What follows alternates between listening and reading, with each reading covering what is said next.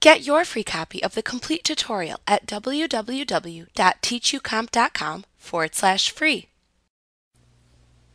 You can also create parameters in your query criteria that will prompt you to enter a value, which can then be used as the query criteria value for the query before returning the result set.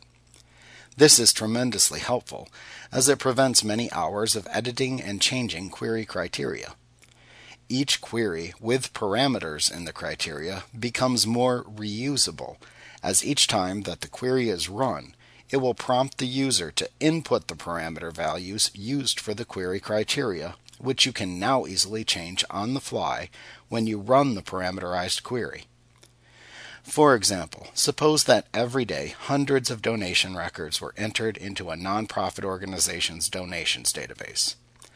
Let's also suppose that you were responsible for finding all records entered from the previous day and double checking their spelling accuracy and address information. You certainly wouldn't want to have to sort through all of the records in the tables to find the ones that were entered the day prior.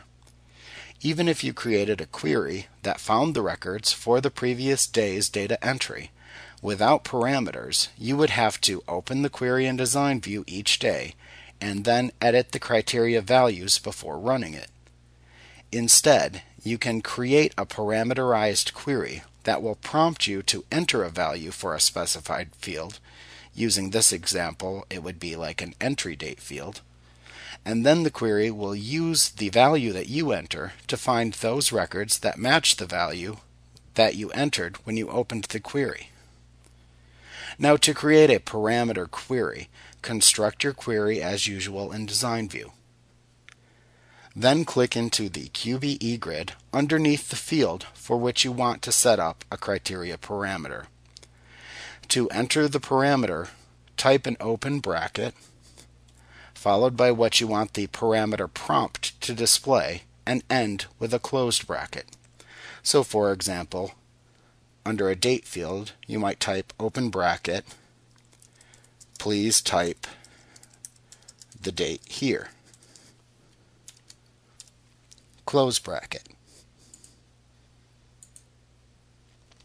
Then when you run the query, it'll show that parameter prompt and you simply input the date you want to see.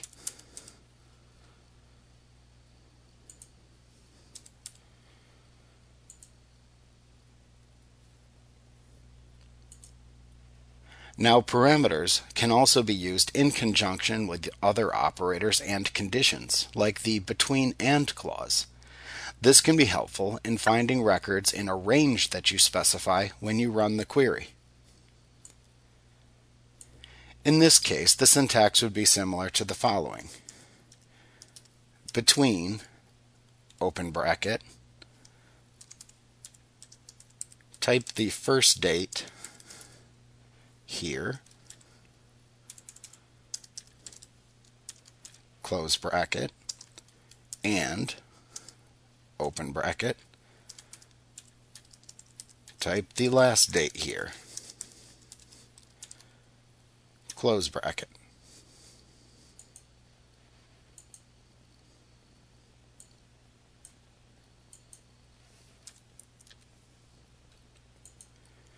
Then when you run the query, it will prompt you for both parameters and then pull the necessary records.